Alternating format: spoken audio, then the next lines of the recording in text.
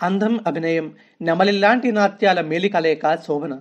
ఏ మేకప్లు లేకున్నా సహజంగానే అందంగా ఉండే ఆమె సాంప్రదాయ చీరకట్టులోనైనా ఈ తరం హీరోయిన్స్ల మోడర్న్ డ్రెస్లోనైనా ట్రెండీగా ట్రెడిషనల్గా ఎలా అయినా సరే సూపర్గా సూటబుల్ అనిపించే అందమైన హీరోయిన్.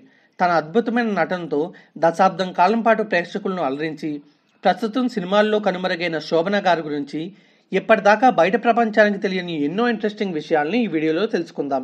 శోభన గారు పంతొమ్మిది వందల అరవై ఆరు మార్చి ఇరవై ఒకటవ తారీఖున చంద్రకుమార్ పిల్లై ఆనందం గార్ల దంపతులకు కేరళ తిరువనంతపురంలో జన్మించారు.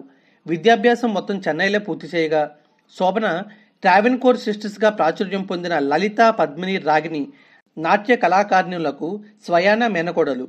వీరు క్లాసికల్ ఇండియన్ డాన్సర్లుగానే కాకుండా నటీమణులుగా కూడా ఆ కాలం సినిమాల్లో మంచి పేరును సంపాదించుకున్నారు.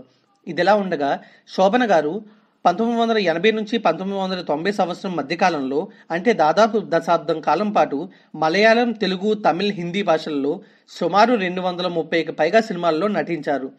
అక్కినేని నాగార్జున మొదటి చిత్రం విక్రమ్ సినిమాతో తెలుగు సినీ ఇండస్ట్రీకి పరిచయమైన శోభన తర్వాత చిరంజీవితో రౌడీ అల్లుడు బాలకృష్ణతో మువ్వ గోపాలుడు నారి నారి నడుమురారి వెంకటేష్తో అల్లుడు గారు మోహన్ బాబుతో రౌడీ గారు రాజేంద్ర ప్రసాద్తో అప్పులప్పారావు లాంటి సినిమాలతో పాటు రుద్రవేణ అభినందన నిపురవ్వ లాంటి పలు సూపర్ హిట్ చిత్రాల్లో నటించి మెప్పించారు.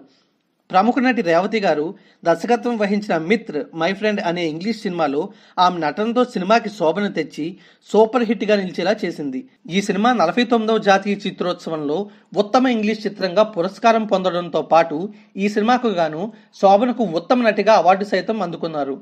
శోభన గారు చెన్నై చిదంబరం అకాడమీలో చిత్ర విశ్వేశ్వరం గారి దగ్గర శాస్త్రీయ నృత్యాన్ని నేర్చుకున్నారు. మాటలతో సైతం చెప్పలేని ఎన్నో వేల హావభావాలను ఆమె ముఖంలో నృత్యంలో చూపించగలరు. ప్రస్తుతం చెన్నైలో కళార్పణ అనే డ్యాన్స్ స్కూల్ని స్థాపించి డ్యాన్స్ అంటే ఇంట్రెస్ట్ ఉన్న విద్యార్థులకు నాట్యంలో మేటి శిక్షణను ఇస్తున్నారు. కళారంగానికి శోభన చేసిన సేవలకు గుర్తింపుగా భారత ప్రభుత్వం రెండు వేల పద్నాలుగులో ఆమెను పద్మశ్రీ పురస్కారంతో సత్కరించింది. శోభన గారు రెండు జాతీయ పురస్కారాలతో పాటు కేరళ స్టేట్ ఫిల్మ్ అవార్డు కూడా అందుకున్నారు. ఆమెకు యాభై ఐదు సంవత్సరాలకు పైగా వయసు వచ్చినా ఇంకా వివాహం మాత్రం చేసుకోలేదు.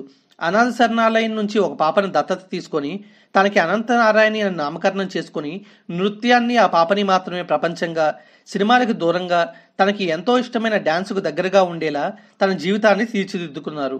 సినిమా ప్రపంచానికి ఆమె దూరం కావడానికి సినిమాలంటే ఆసక్తి తగ్గిపోవడానికి రాజేంద్ర ప్రసాద్ గారే కారణం అంటూ వీరి మధ్య ఉన్న విభేదాలకి కారణం చెప్పకపోయినా సినిమాలో హీరోయిన్గా నటిస్తే హీరోలకి ప్రొడ్యూసర్లకి డైరెక్టర్లకి కమిట్మెంట్ ఇవ్వడానికి రెడీగా ఉన్నట్లు అని కాదు. సినిమాల్లో క్యారెక్టర్ల కోసం పర్సనల్ క్యారెక్టర్ని వీక్ చేసుకునే ఉమెన్ని నేను కాదు అంటూ ఓపెన్ స్టేట్మెంట్ ఇచ్చారు. ఇక అప్పారావు డ్రైవింగ్ స్కూల్ చిత్రంతో హీరోయిన్ మాల్విక కూడా తనతో రాజేంద్ర ప్రసాద్ గారి ప్రవర్తన అంతగా బాగుండేది కాదు అని చెప్పిన విషయం అందరికీ తెలిసిందే. ఈ విషయాలన్నీ పక్కన పెడితే శోభన గారు ఇప్పటికీ తన యాభై ఐదేళ్ళ వయసులో కూడా ఆగకుండా నాలుగు గంటల పాటు నృత్య ప్రదర్శన ఇవ్వగలరు. చాలా గ్రేట్ కదా? ఇది ఫ్రెండ్స్ ఈరోజు మన వీడియో. ఈ వీడియోలోని కంటెంట్ ఈ వీడియో చేయడానికి మేము పెట్టిన ఎఫర్ట్ మీకు నచ్చినట్లయితే ఇప్పుడే మన ఛానల్ని సబ్స్క్రైబ్ చేసుకోండి. ఫ్రెండ్స్ మన ఛానల్లోని మిగతా వీడియోలను కూడా ఒకసారి చూడండి. ఆనందాన్ని వినోదాన్ని విజ్ఞానాన్ని ఒకేసారి పొందండి. Thanks for watching the video yours BLK